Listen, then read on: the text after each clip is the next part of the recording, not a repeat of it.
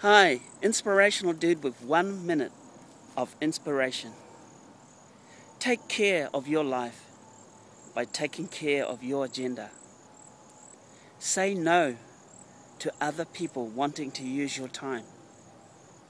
Say no, thank you. I'm not comfortable with that. No thanks, I don't have time for that. No thanks, no thanks, no thanks. Your no is a powerful yes to you. It is a powerful yes saying that you matter, that your time, just like everyone else's time, because we all have 24 hours, your time is focused on being the best you can be, at fulfilling your dream and your vision.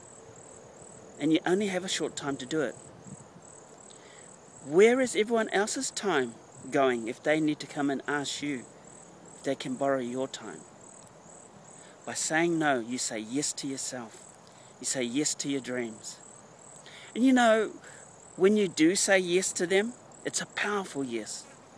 They ask you for something, you go, yes, because it fits in with where you are going in your dreams and in your vision. When you say no, it's a powerful no. And the universe thanks you for that. You will feel a true sense of gratitude and a gentle sense of power because you're owning your time, you're owning your agenda, and in doing that, you are owning your life. You matter. So go today and start with no thank you.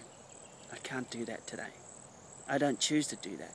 Whatever way you want to say it, it's the same thing. It's yes, yes, yes to me.